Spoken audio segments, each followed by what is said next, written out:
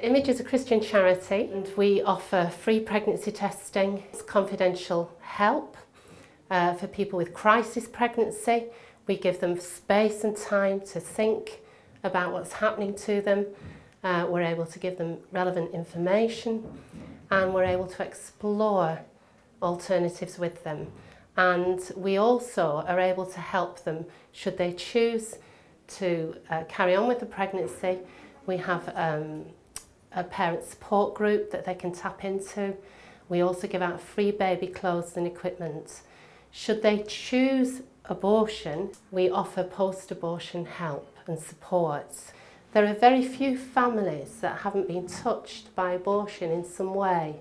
And there are very few churches that haven't been touched by abortion in some way.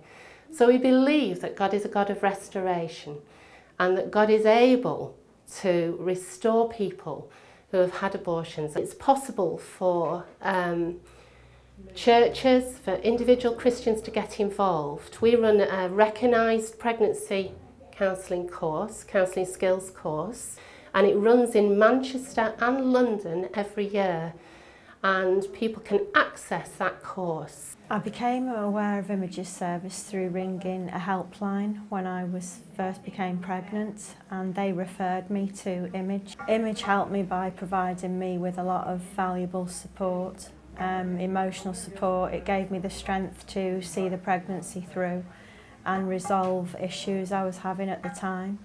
I would say to anyone getting involved in pregnancy counselling that it's a worthwhile job um, and it must be thrilling to see the results afterwards. If someone wanted to get involved in pregnancy counselling, I'd tell them to firstly explore the image course because it's a great course, like I've already said.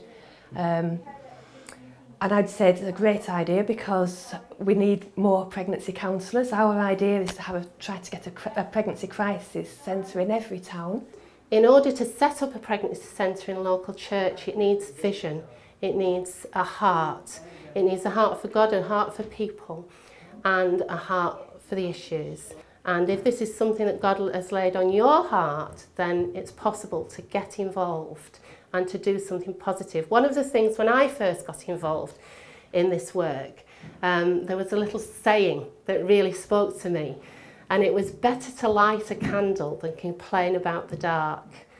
And that's, that's about right for what we do because we're touching individual lives and we're seeing individuals restored and healed from the harm that abortion has done in our nation.